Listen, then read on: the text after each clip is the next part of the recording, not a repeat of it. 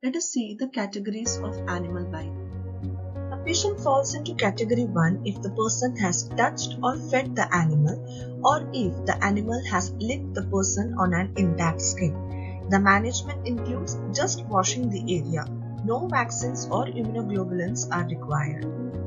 Person belongs to category 2 if the animal bites softly or nibble an uncovered skin or if the bite causes minor scratches or abrasions without bleeding. The management includes proper wound cleaning followed by anti-rabies vaccine. The last category is category 3. So if there are single or multiple transdermal bites or scratches or if the animal licks on a broken skin or contamination of mucous membrane with the animal saliva. The management includes wound cleaning followed by anti-rabies vaccine as well as rabies immunoglobulin.